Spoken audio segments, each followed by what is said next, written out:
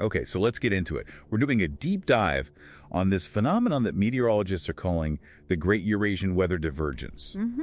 And this isn't just, you know, some severe winter weather. We're talking about a genuine structural fracture in the entire hemispheric circulation. That's right. It's a huge deal. We are tracking a really critical week from December 27th through about January 4th. where you have these two, well, violently opposed weather regimes. Yeah. You've got extreme storms and extreme cold just dominating Europe and Asia at the same time. And the mechanical driver here is, uh, it's really the key. It all stems from this unprecedented, major, sudden stratospheric warming in SSW that kicked off back in late November. Right. That event basically caused the stratospheric polar vortex to structurally split. It collapsed, and it's essentially dumping its whole reservoir of frigid Arctic air right into the mid latitudes. And this collapse isn't happening in a vacuum, is it? Yeah. There are other things making it worse. No, it's being amplified.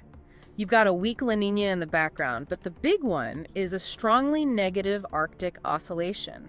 Which, for you listening, that basically means high pressure systems get stuck over the Arctic.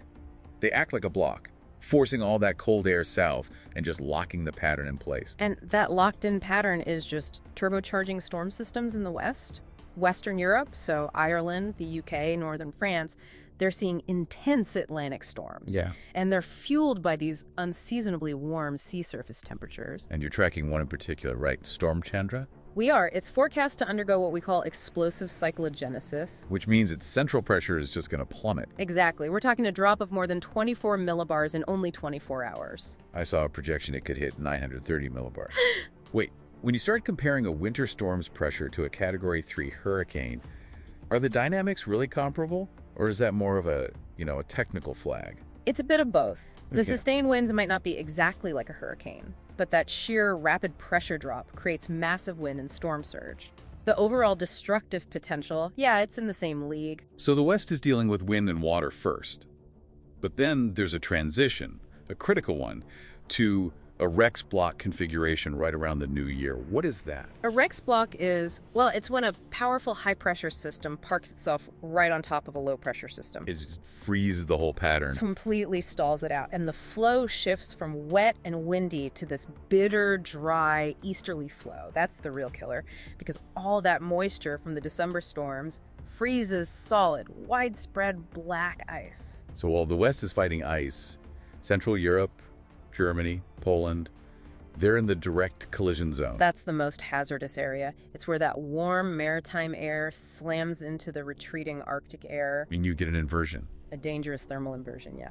The result is supercooled rain that freezes instantly on contact, creating these dreaded ice shells. We're not talking about a thin glaze. No, we're talking about a coating of clear, solid ice. It could be one to three centimeters thick. That's enough to snap power lines and paralyze transport, a massive infrastructure threat. And if we go even further east, Yeah. Then you hit the deep continental freeze. In Moscow, European Russia, temperatures are set to plunge after the new year. We're looking at night lows down towards minus 20 Celsius. huge strain on heating systems. And in Kazakhstan, it's even worse. Lethal cold dropping to minus 30 with persistent ice fog that grounds airplanes. It's a direct threat to life. And we can't forget the orographic effects in the mountains. The Caucasus, exactly. They could see over 100 centimeters of snow in places like Gudauri. That means a critical avalanche danger. Roads will have to be closed. So you have three distinct high-impact crises happening all at once across the continent. And when you step back, you realize this divergence is a powerful symptom of Arctic amplification. As the Arctic warms so fast, it weakens the temperature gradient that normally keeps the jet stream strong and stable. So the jet stream gets wavier, more meandering. It wanders all over the place, and that's what allows for these two extremes to happen at the same time. So the great irony here is that a warming climate doesn't just mean milder winters. It actually makes the cold snaps we do get more violent.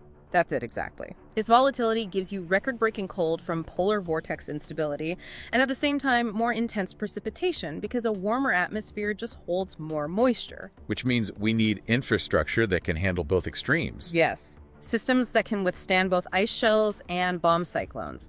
Because this great Eurasian weather divergence, it really is a harbinger of a new era of winter volatility, and that's the dual threat reality you need to internalize.